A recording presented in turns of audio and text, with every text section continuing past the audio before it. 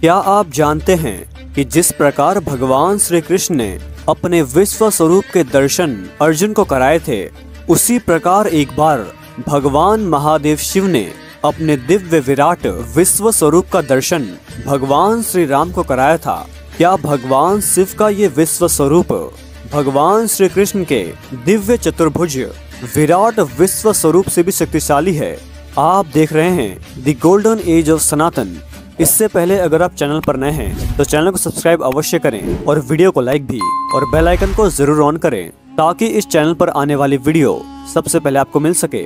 दोस्तों, भगवान शिव के बारे में कौन नहीं जानता? ये त्रिदेवों में से एक माने जाते हैं और इन्हें संघारक के देवता के रूप में भी जान जाता है। लेकिन क्या आप जानते हैं कि जिस प्रकार नारायण अवतारी, यानी भगवान श्री कृष्ण ने अपने विश्व रूप के दर्शन अर्जुन को रणभूमि में करवाए थे। उसी प्रकार, एक बार भगवान शिव ने अपना विश्व स्वरूप भगवान श्री राम को दिखाया था और इसका प्रमाण हमें पुराणों में मिलता है। शिव गीता, जो पद्म पुराण का ही एक भाग है, उसके अध्याय सात में इस बात का वर्णन मिलता है। इसके अलावा, भगवान शिव के विश्व रूप का वर्णन हमें कुर्म पुराण के अंतर्गत ईश्वर गीता में भी मिलता है। तो आइए विस्तार से जानते हैं उनके सर्वशक्तिशाली रूप के बारे में और आपको उनके उस दिव्य विराट विश्व रूप के दर्शन भी करवाते हैं। भगवान शिव ने भगवान श्री राम को रामगिरी पर्वत के दंडक वन में गोदावरी नदी के तट पर ईश्वर गीता, जिसे शिव गीता भी कहा जाता है, इसका ज्ञान दिया था और इस प्रकरण का उल्लेख हमें पद्म पुराण के उत्तरखंड में मिलता है। पद्म पुराण महर्षि वेद व्यास जी द्वारा संग्रहित 18 पुराणों में से एक है। ईश्वर गीता में कुल 16 अध्याय हैं, जिसमें भगवान शिव श्री राम को सभी दिव्य ज्ञान का सार प्रदान करते हैं। जिस समय भगवान श्री राम माता सीता के बिछो में अलग होने के कारण दुखी और भ्रमित थे शिव गीता के सातवें अध्याय के अनुसार भगवान शिव पहले अपने बारे में सब कुछ उन्हें बताते हैं परंतु जिज्ञासावश प्रभु श्री राम फिर उनसे सवाल पे सवाल पूछते रहते हैं। श्री राम कहते हैं कि आप कहते हैं, आप जगत की उत्पत्ति, स्थिति और पालन करते हैं। इसमें बहुत बड़ा आश्चर्य मुझे है। कौस्तुक मणि के समान जिनका शरीर है और त्रिनेत्र तथा मस्तक पर चंद्रमा है, जिनके सर से गंगा बहती है, ऐसे आप पुरुष आकृति रूप धारण किए हुए हो और माता पार्वती सहित आप आदि गणों के साथ यहीं बिहार करते हैं। तो फिर आपने पाँच महाभूत आदि इस चराचर जगत को कैसे उत्पन्न किया? हे गिरजापति यदि आपकी मुझ पर कृपा है तो आप बताइए कि आपने ये सब कैसे किया, और असल में आप हैं कौन? आपका वास्तविक स्वरूप क्या है? भगवान शिव बोले, एक सूक्ष्म वट के बीज में, जिस प्रकार एक महान वट का वृक्ष सदा रहता है, और समय आने पर उसी बीज से वह वृक्ष भी निकलता है। यदि ऐसा ना हो तो बताओ वो वृक्ष कहाँ से आता है? इस प्रकार मेरे सूक्ष्म शरीर से पंचभूतों का जन्म, पालन और नाश होता है। अथवा जैसे प्रतिदिन सूर्य से प्रकाश उत्पन्न होता है और संध्या समय विलीन हो जाता है। उसी प्रकार मुझसे जगत उत्पन्न होकर विलीन हो जाता है और मुझसे ही स्थिर रहता है। ऐसे में श्री राम जी बोले, प्रभु, जिस प्रकार दिशाओं के भ्रम वाले व्यक्ति को उत्तर आदि दिशाओं का भ्रम हो जाता है, इसी प्रकार मुझे भ्रम हो गया है। और यदि निवृत्त नहीं होता तो मैं क्या करूँ? भगवान शिव बोले, हे राम, जिस प्रकार ये समस्त चराचर जगत मुझमें विद्यमान है, वो मैं आज तुमको उसका असली स्वरूप दिखाता हूँ और उसे देखने के लिए मैं तुम्हें दिव्य नेत्र देता हूँ। उन नेत्रों से तुम भय त्याग कर मेरा दिव्य स्वरूप देखोगे। देवता भी मेरे इस दिव्य स्वरूप को मेरे अनुग्रह के बिना चर्म चक्षुओं से भी नहीं देख सकते।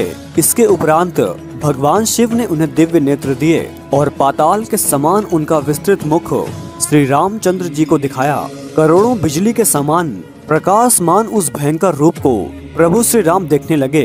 अभी श्री राम ने उन्हें प्रणाम ही किया था कि त्रिपुर घाती शिव जी के मुख से करोड़ों ब्रह्मांड प्रलय काल की अग्नि में व्याप्त होकर श्री राम जी को दिखे।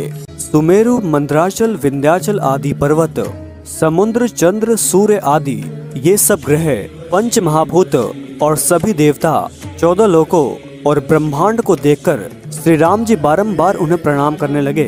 तत्व ज्ञान मिल जाने पर श्री राम उपनिषदों के वैदिक मंत्रों और अर्थ रूप वाणी से शिव जी की स्तुति करने लगे। श्री राम बोले, आपकी माया से कल्पित हुआ ये विश्व आपके ही स्वरूप में प्रतीत होता है। श्री राम भगवान शिव के उस विश्व स्वरूप को देखकर विस्मित हो उठे और उनके सभी बहुमुखी गुणों का वर्णन करते हुए बोले कि इस रूप का दर्शन करने के लिए तो दिव्य प्राणी भी तरसते हैं। आप अपने तेज से सब जगत में व्याप्त और प्रकाशित हो। हे देवादि देव महादेव, आपके प्रकाश के बिना तो जगत क्षण भर में अदृश्य हो जाए। आप समस्त दिशाओं में व्याप्त हैं। आप अनंत और शाश्वत हैं। अगर ये ब्रह्मांड विलुप्त भी हो जाए, तब भी प्रभु आपको कोई हानि नहीं होती।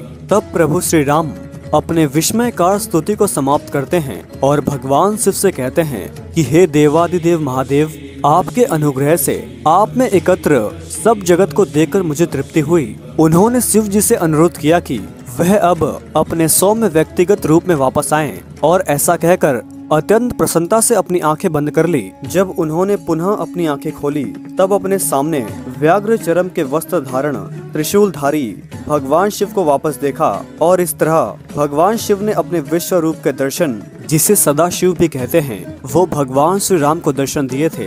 इससे पिछली वीडियो में हमने आपको भगवान श्री कृष्ण के विश्व स्वरूप के दर्शन के बारे में विस्तार से बताया था, जहाँ बहुत से लोगों के कमेंट्स आने लगे कि भगवान शिव का सदाशिव रूप सबसे बड़ा और बहुत ही शक्तिशाली है। कुछ लोग तो ये भी कह रहे थे कि भगवान श्री कृष्ण का विश्व रूप सबसे बड़ा है।